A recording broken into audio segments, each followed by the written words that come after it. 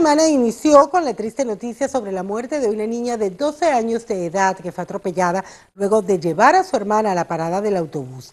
Este accidente ocurrió en Durance Road, entre Dill Road y la Rambo Lane, en el norte de Fort Myers, cuando Alana Marie Templin caminaba hacia el sur en Durance Road, cerca del borde de la carretera y la parte delantera derecha de un auto la golpeó. Ella estaba en ese momento en compañía de una amiga que por suerte resultó ilesa. La responsable fue identificada como Mary Ann Miller, de 62 años de edad, que inicialmente se detuvo pero dejó la escena y regresó poco después. Una acción que ahora la policía investiga.